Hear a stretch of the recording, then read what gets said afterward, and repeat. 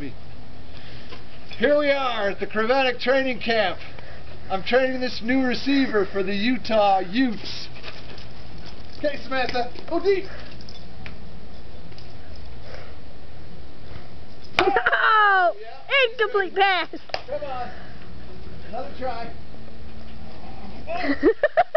Once she gets it, she's got a good grip.